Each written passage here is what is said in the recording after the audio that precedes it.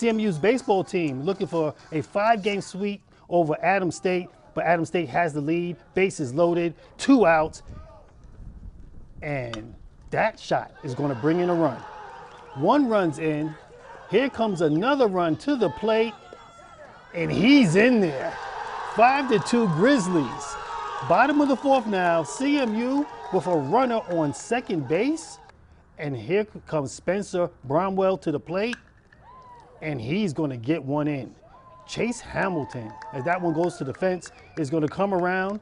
He will score, and just like that, CMU trails five to three. CMU wasn't done, folks. Same inning. This is Matthew Turner, and he is going to find the alley. Bramwell, he's going to come on down. He will score. CMU now trails five to four. But in the very next inning, CMU would give it all right back. Chase Hyatt, he's going to get an RBI. Six to four Grizzlies. They will score three runs in the top of the fifth. They will build an eight to four lead. And listen to this, folks. I left this game and walked over to the women's lacrosse team to see what they were doing. When I left the stadium, I said, wouldn't surprise me if the Mavericks come back and, you know, wipe away that deficit. And from the lacrosse game, I can hear all these cheers, and I'm thinking to myself, what the heck is going on at the stadium? Well, let's look at this full screen to see what was going on at the stadium. They scored 16 runs after I left.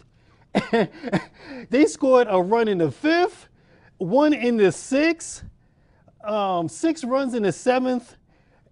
I mean, it just kept going on and on eight runs in the eighth. They pound the Grizzlies pitching, 20 hits in this one. They sweep the five game series. Uh, Matt Turner, three hits, five RBIs on the day. CMU improves to 13 and three on the day. Folks, if you haven't seen the CMU baseball team, they're a tremendous ball club. You got to go check them out. That's all the time I have for sports. I'm Derwin Worrell. Here's your ski report.